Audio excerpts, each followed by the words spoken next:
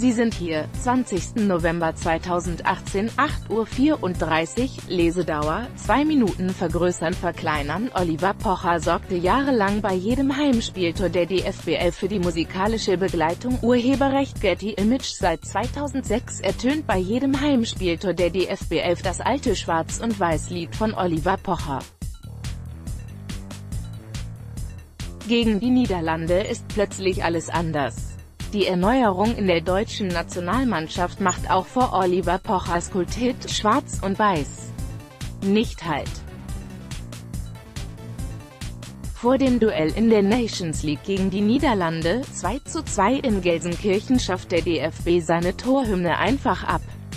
Seit der WM 2006 ertönte der Song des Comedian bei allen Heimspieltoren der DFB 11.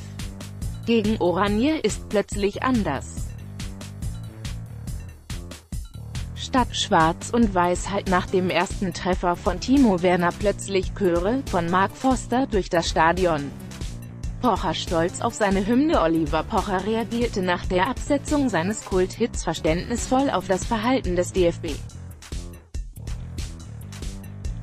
Ich bin stolz mit Schwarz und Weiß musikalisch ein Teil der letzten zwölf Jahre der Nationalmannschaft gewesen zu sein, postete der 40-Jährige bei Instagram und wünscht der DFB 11 anschließend viel Glück für das kommende Jahr und jetzt ist es wichtig, welcher Song auch immer bei Heimspielen nach dem Tor läuft, dass er überhaupt einmal läuft und immer einmal mehr als der Gegner Tore schießt.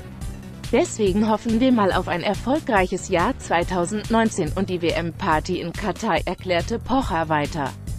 Jetzt die Sport 1 App herunterladen.